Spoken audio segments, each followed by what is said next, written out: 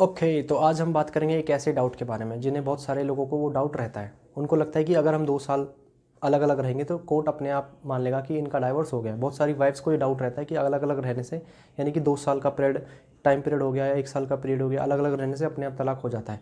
कुछ लोग इसको मतलब अफवाह फैलाते हैं ना जैसे यूट्यूब पे आजकल हैं तो सब काला कोट पहन के वीडियो बनाते तो हैं लेकिन उन्हें एक्चुअल नॉलेज नहीं है। तो एक्चुअल नॉलेज क्या है? आप सुन लो। देखो दो साल से क्या होता है? एक ग्राउंड होता है हमारे पास डिसर्सन बोलते हैं उसको डिसर्सन हम्म, यहाँ लिखा आ रहा होगा देख लेना। डिसर्सन ग्राउंड होता है डाइवर्स का। उसमें क्या होता है?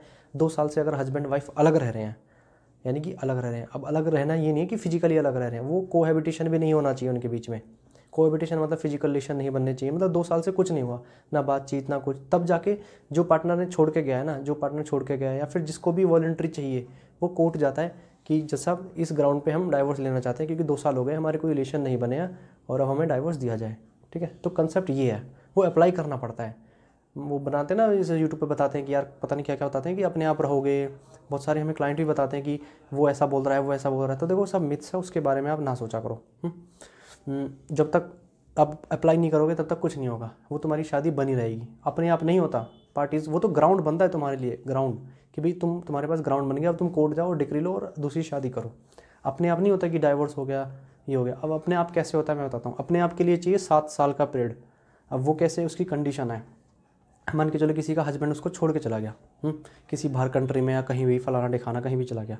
तो अगर सात साल तक ना तो वो आता है, यानी कि ना तो ना ही उसके बारे में किसी ने सुना है। उसके लिए कंडीशन है। कंडीशन ये कि उसके बारे में ना तो किसी ने सुनना चाहिए कि जैसे सात साल हो गए, उसका पता ही नहीं है कहाँ है। ना ही किसी के थ्रू पता चलना चाहिए, जैसे ना ही कोई उसकी बात करे। मतलब ऐसा होना चाहिए कि वो, ऐसा होना चाहिए कि मर गया।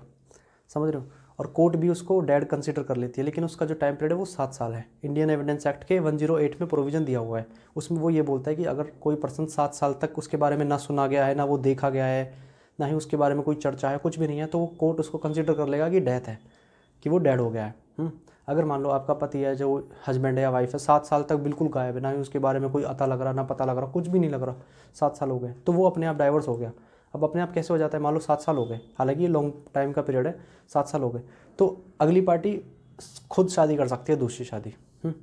यानी कि खुद दूसरी शादी मन में क्वेश्चन आ रहा होगा कि अगर मान लो सात साल के बाद वो पर्सन आ जाता है वापस तो क्या होगा? तो देखो जिसने अगर शादी करी है यानी कि वो उसको छोड़ के चला गया था सात साल हो गए अब एक पार्टी ने शादी कर ली तो उसको तो कुछ होगा नहीं हम्म, क्योंकि उसने दूसरी शादी कर ली है और उसकी जो दूसरी शादी है वो वैलिड मानी जाएगी बिल्कुल मानी जाएगी क्योंकि कोर्ट कंसिडर करता है कि भाई तुम सात साल तक अगर गायब हो तुम्हारे बारे में कुछ नहीं सुना है तो तुम डैड मान लिए जाओगे हम्म, अब इसमें गलती किसकी जो पर्सन आया है अरे सात साल हो गए भाई तुझे तो देखना चाहिए था ना हम्म, तो जिसने शादी करी है दूसरी बिना डाइवोर्स लिए सात साल का वेट करते हुए उसको कुछ नहीं होगा ठीक है? और जिसने जो आया है उसको कोई रेमेडी नहीं है हम्म, अगर रेमेडी है तो उसको प्रूव करना पड़ेगा कि मैं ज़िंदा था मैं ये सब था ऐसे ओके अगर वो प्रूव कर देता है तब वो शादी जो पहले वाली की है वो इनवैलिड हो जाएगी। हालाँकि ऐसा होता नहीं है मैं आपको जनरल रूल बता रहा हूँ बस सो so, ओके तो डरने की ज़रूरत नहीं है कि अपने आप हो जाता है ये हो जाता है तो कोई ऐसा अपने आप नहीं होता भाई करना पड़ता है ठीक है? कोर्ट जाना पड़ता है धक्के खाने पड़ते हैं कचहरी वचहरी का ठीक है? Okay so I hope clear